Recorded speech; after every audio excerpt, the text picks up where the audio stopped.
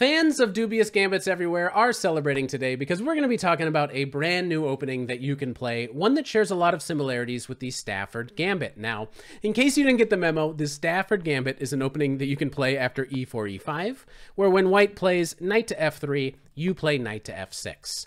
And after the recapture on e5, instead of playing the typical Petrov move order where you play d6, you kick the knight away, you take on e4, you can instead offer a pawn, this is the Stafford Gambit, with the move knight to c6. And the main point of this opening is that after this recapture, you will be playing for a massive middle game attack as black you are going to be bringing the bishop out to c5. If white ever gets castled, you're going to be playing aggressive moves like h5, knight g4, queen h4. You can imagine how black would get a very large initiative in an opening like this. And this is something that's been popular for a while now, popularized by the legend himself, Eric Rosen, who I must give a huge shout out to. Uh, so a big thanks to Eric for recently putting on the map this brand new opening that instead of knight to f6, you can also play this crazy move bishop to c5. And there's going to be a lot of similarities between this opening, which is called the Bush Gas Gambit, and the Stafford Gambit. The point is, you can get stuff that is very similar, only instead of having it the having got the knight out right away, you decided to develop the bishop to c5 instead. So a lot of these lines are actually going to transpose back into a Stafford gambit, um, but there's also quite a lot of room for uh, unique and different positions that you can get. And actually, a lot of the lines that we're going to be looking at today are going to be some of the craziest, wildest things that you've ever seen before. Um, but before we get into that, I do need to make two quick observations just about this position as a whole. After bishop to c5, You'll notice I got the database here, so you can check out all of the games. Most players are actually not accepting the gambit. Bishop to c4 appears to be the most popular move. But maybe more dramatic than that, I've only just heard about this like a week ago. There's a million games in the database. This is one of the most popular openings of all time, and I bet most people haven't even heard of it, or at least don't know the name of the Busch-Gass Gambit. And uh, I would be remiss if we didn't talk about bishop to c4, so we'll start our journey here. But then we're going to come back and we're going to look at what happens if the opponent does accept the gambit. Now, after bishop to c4, the opponent declines the gambit. Black here can decide to be sensible. You can play d6. You can play knight to c6. You can say, I apologize for gambiting a pawn. I would now like to protect it. But let's be honest, you didn't click on this video to see a sensible chess opening. You're here for something dubious, something that probably loses by force.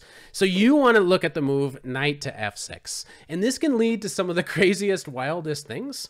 Because here white has the option of taking on e5. And suddenly the f7 pawn comes under fire from a knight and the bishop. So again, you could maybe imagine some players, okay, time to renew our sense of sensibility with something like castles, maybe something like d5. Uh, but here you can also go wild and play this as if it were a Traxler gambit. Now, this is not quite a Traxler gambit, but if knight to c6, you can go ahead and offer this F pawn. This leads to some of the craziest, wildest things. Some of these things are so wild that I'm actually going to need to make a second video just on the Stafford meets the Traxler variation. Uh, so if you do want to see that, make sure you are subscribed to the channel. Helps out a ton, and you'll get some pretty amazing things in the future. Um, I just want to give you a little bit of a tease as to what can happen. There's obviously a lot of possibilities here, two very reasonable ways of uh, attacking this pawn, but this is not a Traxler gambit. In the Traxler, the knight is on g5, and that does make a difference and leads to some other crazy wild complications. But just to tease you with one line, the main line of this opening is knight takes f7, at least the most popular line. But here, black can play this very interesting move bishop takes f2. And if you have any experience in the Traxler, you'll know that some people do prefer to reject this bishop. Um, because if you do grab it, which is the most popular, you're going to get hit with knight to e4. And you can begin to see how this can get very complicated, very tricky, and how it might be very easy for opponents to slip up. So here, most players are playing king to g1. This is the correct move. But now uh, we can play queen to h4. And we are trying to play for this checkmating attack. And what's interesting about this position is that most players are messing up. Queen e2 or queen to f3 are the most popular moves that have been played in this position, but they both fail for the same reason. After queen e2, for example, we can play knight to d4. Not only are we attacking the queen, but we still have this threat on f2. We're trying to checkmate the king. We've now introduced the idea that we can take on c2, which would win the rook in the corner. And if we're given time, we're going to be able to bring our rook into the game so you can see how deadly this might possibly be. For example, uh, most players are playing queen to f1. You have to go somewhere where you're keeping control over the f2 square. But now we have time for rook to f8, and suddenly there's a big pin here going on on the f file. And it doesn't really end here. The lines continue to get crazy because if d3, which is supernatural move, black is winning if only he can find an absolutely amazing combination from here. So here as black, you may want to pause and see if you can figure this out. I'll give you a big hint as to how you might come about the right answer here. Uh, we would love to take this knight. However, it is currently defended by two of these pieces, so the most logical piece to try to remove from the defense of f7 would be the bishop on c4. And you do have a brilliant way of doing it. You can play the move pawn to b5, where our intention is clearly we are going to take this bishop and then take this knight. If you are to retreat, we'll be able to recapture it this way. So you would imagine white would be playing the move bishop to d5. And this has actually occurred in two games, and both players have come up with the absolutely brilliant bishop to b7. This is the move that will finally remove this defender of the knight. So if you are to ever recapture this, you're going to get hit with rook takes f7, and suddenly white is not going to be able to both save the queen and defend the f2 square. So this is some crazy wild stuff. Again, there's going to be a lot more of this, so uh, check out the channel in the future if you want another video just on that particular opening. But let's head back to uh, the bishop c5 move order, and let's go ahead and see what happens if the opponents do decide to capture on e5. This is probably the most logical thing when there's a gambit. Generally, you do want to accept it. And here you'll also notice Black is just doing wacky stuff. Neither side, there's so many games. Everybody's just doing uh, some ridiculous stuff. Queen to h4 is the most popular move. I get it, but that allows d4. Uh, Bishop takes f2 is a popular move. I get it, but it doesn't really quite work. Uh, Queen e7 is popular. Again, d4. I don't really get it. Uh, people are just doing some crazy wacky stuff. Perhaps the most logical way to continue if you're going to be playing in gambit style from this position would be to play the move knight to c6. And here again, this is like, I guess, the main line of the Busch-Gass Gambit. This has actually been given a new name now. This is the Chiodini Gambit. And there actually is a little bit of a decision here for White. So we should slow down and try to understand this from White's point of view. White now needs to decide whether they should continue to accept and take this knight, or if they could play a move like knight to f3 and just drop back. They both have pros and cons. The most natural way would be to take, because after you take, you get to regain the initiative in a way as white, or you at least get to maintain tempo by now having it be your move and you get to decide what you're going to develop and how the game will proceed from here. If you do decide to go back, then it will be black that now gets to decide how the game should progress from this point. So you can imagine most players would be deciding to take here. I also should mention there's another portion of people that are playing knight takes f7. And this is actually a tricky move Unfortunately, it doesn't work for white. So white's trick here is that if you recapture, you're going to get hit with queen to h5. And this is going to be winning back some of the material here. So this would be a big mistake by black. Now, fortunately, we do have a really good move. So this is a nice trick to keep in mind just in case the players do decide to get a little wacky. But you can actually ignore the knight temporarily, play queen to f6, make a threat of checkmate and only then regain the knight on the next turn. So white doesn't have time to win any more material with that knight. He has to defend against mate, and then the knight on f7 will be captured, and black should be able to win this game. So a nice little trick, but it doesn't quite work for white. So what happens if they do decide to accept our gambit? We'll also come back and look at knight to f3 in just a moment. Well, okay, we are going to be recapturing, and again, a surprise. Everybody makes mistakes every step of the way in this opening, and in large amounts. a lot of people, this is about a quarter of the people, I guess, uh, it's 2,000 people out of 8,000 games, have been playing bishop to c4. And black, again, gets to make a very interesting choice. You can now win back some material. This would be the easiest, perhaps the most sensible option for black. You can use this little tactic of bishop takes f2. Whenever you got the bishop on c5, you're always looking at this recapture. And here, as black, we win material back by the means of queen to d4. And after the king goes wherever, uh, we recapture the bishop. Still, after like d3, we are going to need to go somewhere, but we have regained the pawn, so you can imagine you can get some position like this, get the rest of your pieces out, decide which way to castle is black, and you should have a very reasonable game. However, I know a lot of people out there might be some dubious gambiteers that do prefer to be a pawn down. That's, I mean, you played the Busch-Gass gambit after all. Maybe you want to be a pawn down. I should also mention that while this might be the safest and most sensible move, there's also other ideas like knight to f6.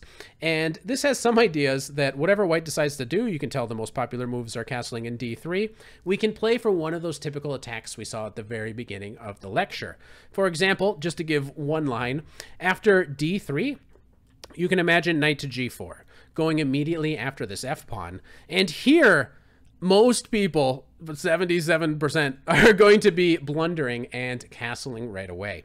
And just to show you how quickly white can come under fire and just how fast you can lose a game of chess, you can play queen to h4 here, attacking h2 for uh, Uh, for a checkmating attack, but also adding three attackers on the f2 square. So whenever you get a position like this, it's always going to be winning for black because after white plays a move like h3, trying to defend, you can always hit him with an attack on f2.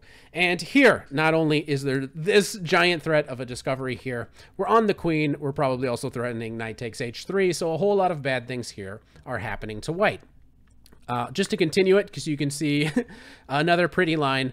After rook takes f2, queen takes, king will go somewhere. You can here play an absolutely brilliant move for black. And this is one, another kind of position where people are generally missing the, uh, the strongest move. And this is a brilliant, beautiful move. If you want to really finish off a game in beautiful fashion, in this position, you want to play bishop to g4. And this is an amazing move, hanging the bishop two different ways, but it really can't be recaptured. Uh, the point is, the queen now, where is she going to go? She, How is she going to stay on the back rank to defend against mate? If she does come off, you're going to hit him with this checkmate. And the other beautiful point is that after this recapture, you got the bishop on this diagonal. So all you need to do is add a queen into the attack. Queen to h4 here is checkmate. So there's a lot of beautiful stuff, a lot of quick mates uh, that can happen if they do decide to accept this gambit. Now, I do want to show uh, another little special thing. This, don't worry, we've just changed the scene. This is the first ever Busch-Gass Gambit. This was a game that was played between Eugen uh, Busch and David Graham Baird. Um, Busch was actually a chess teacher and he worked for like the Munich chess club. He's a German player. And this is a game that he played in 1906, the first example of the Busch-Gass Gambit. And what surprised me the most about the opening portion of this game was that after this capture, knight to c6, white, even though this was 1906, did not continue to take stuff, which is what I guess I would typically expect for the time period, but instead white went back to f3. And this actually got me excited because as I was kind of studying this from the black side, I'm thinking, okay, but what happens? It's a typical antidote in the Stafford to just go back. What if they do it here? Um, and what we're going to see is black comes up with a really good plan. The basic plan in the opening is to attack e4 as much as possible. So he brings out the queen, knight to, uh, sorry, queen to e7, and after knight to c3, knight to f6. And black is just going about putting as much pressure as possible on this pawn. If needed, you can always play d5 later. If white does play something like d3, you're going to go for maximal central pressure. Now here, white got a little bit clever. I'm actually going to hide the database for now, uh, so as to not give away too many of the fun surprises. But white played this very interesting move, um, pawn to d4. And I do believe White here thought that he was potentially tricking Black because now, after the most obvious move, knight takes e4, the point is you don't have time to take my bishop because I'm going to have some discoveries um, by taking on c3. White had this idea in mind of playing knight to d5. And it looks, at least at first blush, like maybe black has made a mistake because all of a sudden, the queen is under attack, The uh, pawn on c7 is under attack, which could lead to some sort of forking opportunities. Also, the bishop on c5 is hanging. And it doesn't appear that black has any meaningful discoveries. You can take a look around, but nothing really seems to work uh, sufficiently. So, what is the deal? Well, black did find the only move, but it's a good move, and it's bishop to b4, getting the bishop out of the way and delivering a check. Now, there's no time for white to play a move that maybe would be natural like c3, because here black is going to be able to win a pawn. Now, when we take here on c3, for example, this is not what happened in the game, white would be able to capture a queen, black recaptures a queen. This is a discovery, so white will have to take back here. And now after you recapture this knight with something, we've actually won a pawn as black because we took that c3 pawn. So because that's impossible, White decided to play uh, bishop to d2, which looks sensible as well. And it still feels like there's a lot of dangers looming for black. There's a lot of lines that just don't quite work. What are we going to do? All of our stuff is still kind of hanging. Uh, and if we take here, which is exactly what happened, White is just going to take our queen, but this is what happened. Uh, Black sacrificed the queen, and he's actually now going to get a lot of uh, material for it. He already took one minor piece on d2. Now he takes on f3. This is a check. It's double check discovered. So white is going to have to do a forced Bongcloud king to e2. And now, before recapturing this knight, we save this guy. We take on d4. King has to continue to come up. He can't go back. And now after we recapture this, you'll notice black has actually one material. It is three minor pieces and a pawn for black. But also, maybe more importantly, what the heck is going on with this guy? He's on d3. Uh, so the game continued with c3, kicking the knight back, no problem. You run your king back to c2, no worries. We castle, g3. And now d5. Another interesting moment in the game. Black is offering a pawn, but he's also just getting this guy into the game. And I'm imagining that he actually had uh, a lot of dangerous ideas if white did decide to grab this guy. In the game, bishop to d3 is what was played. But if queen takes d5, Black has uh, the opportunity, I'm not sure what he would have done here, but has opportunities to play move like knight to d4, with the main idea being that if you do recapture, uh-oh, there's this other fork on the b4 square. So this is the kind of stuff that's in the position, and as white, if you don't recapture this knight in a position like this, you have to either block your rook in by moving your king back uh, in front of your rook, or you have to go somewhere on the d file, which doesn't look uh, very nice to do because okay, rook d8 is coming pretty quickly. Black also has all sorts of moves to get a initiative right out of the the gate here, but instead. What happened in the game was he decided to develop the bishop to d3. Now after rook to d8, we saw f4. White is going to continue charging down the board and try to get this knight to move away. But d4 played anyway, f5, and now another interesting moment for black. Black does decide to capture this pawn, and after this, hits you with knight to b4. So temporarily sacrificing the knight, knowing that after this recapture, boom, he was going to hit you with rook to d3. And now white is going to be forced to trade the queen away. Uh, the only other option, look how beautifully the knight is preventing the king from running back to c2. So the other option would be to go here, not only losing the queen, but certainly there has to be a mate here. And in fact, the simplest way to get there, or at least the fastest way to get there, is after check, king to b5, instead of doing one of these. There's a very nice, beautiful mate that could have been played here. It's a pawn mate. After the check, you can play b5, take a look at all the squares. They're all covered. Something like this would be checkmate. So for that reason, white had to give up a queen, decided to take here, didn't take back right away, kind of funny.